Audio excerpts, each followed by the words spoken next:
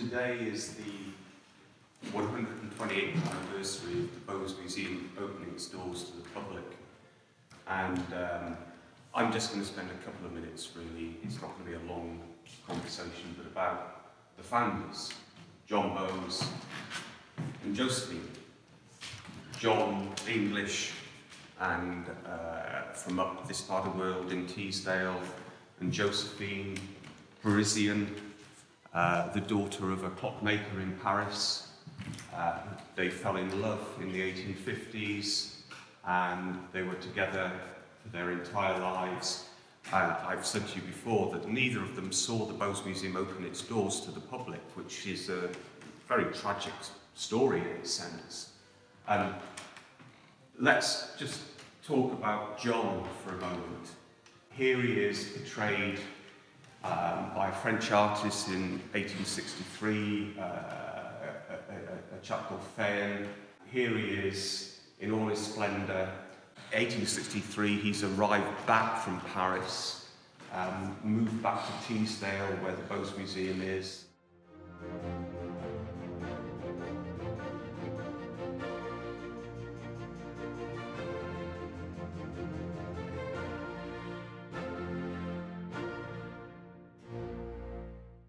If we move over to Josephine, um, this is a portrait of her uh, in 1850. Um, John and Josephine were still living in France at this point in time. They had a house in Paris and they had a, a Chateau Louveciennes on the fringes of, of, of Paris on the Seine. Um, what we're looking at is a very, very fashionable wo woman. If you look at her headgear and you look at her shoes, um, she is wearing a Moroccan dress. And in 1848, two years earlier, um, the French had had a very successful campaign in North Africa. And she's wearing what was really, really trendy costume for the time. Um, this is Bernadine. Bernadine, their Labrador. Also bear in mind that around 1850, when this portrait was painted, Labradors were new into Europe. They were very fashionable dogs. So she's wearing very fashionable costume, she's got a very fashionable dog, and she's got manuscripts uh, for plays. She has ceased being an actress on the Parisian stage in the Variety Theatre where she and John fell in love together, um, but she's still looking at, at scripts for plays. Um, this is a very For 1850, this is a very, very contemporary portrait of a very contemporary woman and art collector.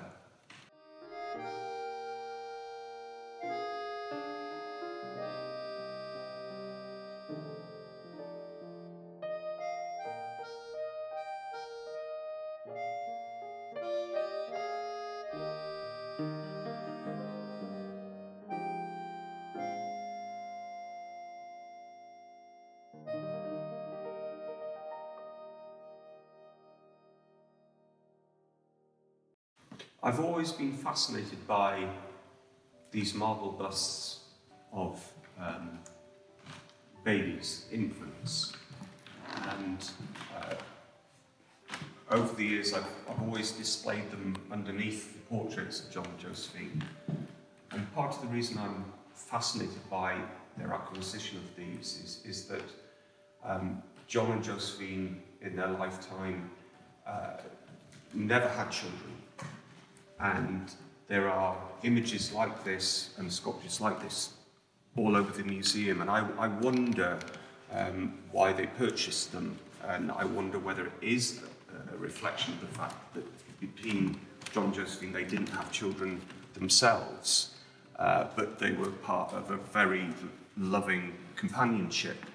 Uh, and it appears to me that, you know, in, in, in, in 2020, um, 128 years after the Bowes opened, these are almost a reflection of what they didn't have, but the Bowes Museum was what they were going to give to the world around them.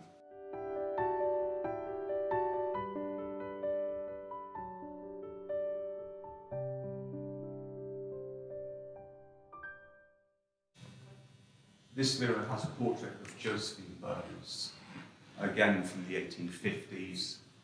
And uh, a few years ago, you see this dress here, which is a recreation made by uh, an Italian costume designer friend of ours who does lots of stuff, stuff for BBC uh, drama series. And it's a recreation of the dress that Josephine wears here. And you can see quite how slim she was. Um, this room, this gallery, has a lot of artifacts. What's quite interesting is, is that John Josephine in the 1850s and 60s, into the 1870s, they were buying things for this museum. But what we have in this room uh, are objects from their chateau, in Chateau du Barry, uh, Louveciennes on the fringes, outskirts of Paris, where they lived uh, in the 1850s through to 1862 before they moved back to England to, to build the Bowes Museum. So we have a combination of a really interesting contrast of, of furniture and pictures and collections that they were buying for the museum, but also in this room, what you see is a recreation of what they had in Chateau du Barry in uh, Louveciennes in the early 1860s.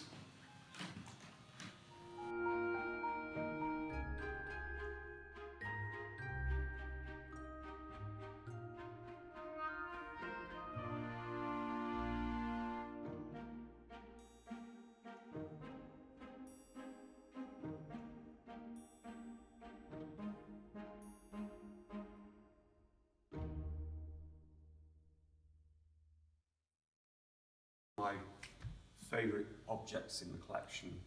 It was displayed at the Paris International, International Exhibition in 1867 that John Josephine attended. Um, it was there that they saw uh, the Silver Swan, which was already a century old. Uh, Mark Twain, the American writer, visited that, this exhibition and he saw, he will have seen this, uh, and he also saw the Silver Swan because he wrote about it and said what a wonderful thing it was. And John and Josephine spent several years uh, working to acquire what is the most iconic object in the collection. But this remains one of my favourite objects. Uh, it, it was made by uh, a, a sculpture, a maker, a metal worker called Ferdinand uh. Um, and this these images here, these sculptures are typical of Barbedienne and what he was doing in the mid to uh, second half of the 19th century.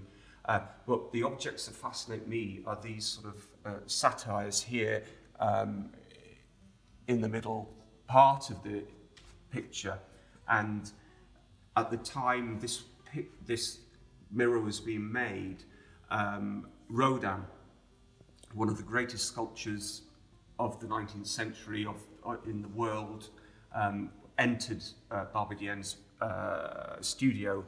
And I have a feeling that these are very early works by Rodin, and they're absolutely beautiful and beautifully crafted and uh, make this mirror one of the most important images in the collection.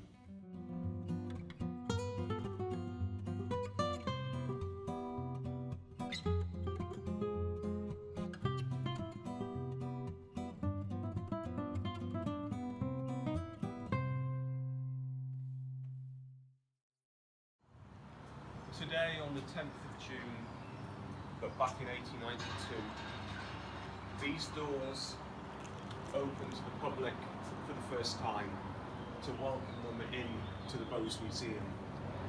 Uh, 128 years later, at the moment with uh, coronavirus and, uh, and, and uh, the uh, pandemic that we're dealing with, these doors are closed.